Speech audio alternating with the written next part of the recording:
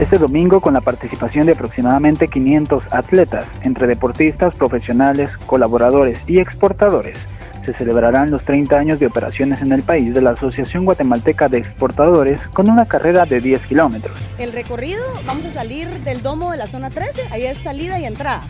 Y ahí mismo vamos a tener parqueo para nuestros corredores con un costo de 10 quetzales para tener todo cerca en el mismo lugar y brindarle seguridad al corredor. Los estamos esperando a las 7 y media, mañana 6 de mayo, en el domo de la zona 13 para arrancar la carrera a las 8 de la mañana. Con un circuito de 5 y 10 kilómetros, esta carrera partirá de un sector de la zona 13, en la categoría libre, exportadores y colaboradores.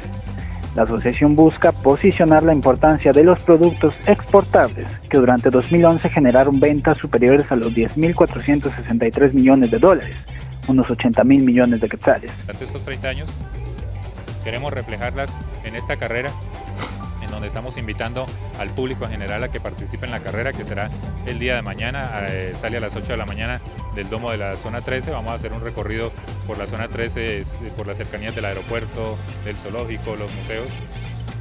Y vamos a tener ahí pues eh, la participación de empresarios, vamos a tener la participación de público en general y vamos a tener la participación de colaboradores también de Agesport y es una fiesta, es una fiesta que queremos eh, compartir con todos esta, esta fiesta de los 30 años y ese es uno de los propósitos de la carrera, hacer un símil entre la carrera de G-Sport y llevarla como una carrera al público, que el público participe también en todo esto.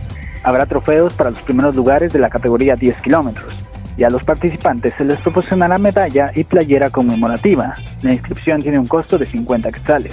Fernando Herrera, director de servicios de Agexport, explicó que los recursos captados por concepto de inscripción serán utilizados para realizar un seminario gratuito sobre el tema de comercio exterior, micro y pequeña empresa, enfocado a fortalecer los conocimientos de los empresarios y público en general.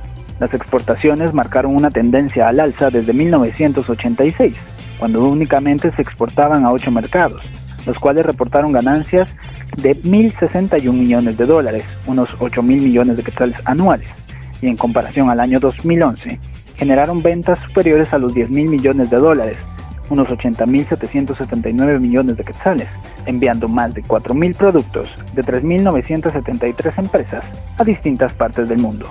Desde la ciudad capital en Guatemala para la agencia guatemalteca de noticias, Gustavo E. Méndez.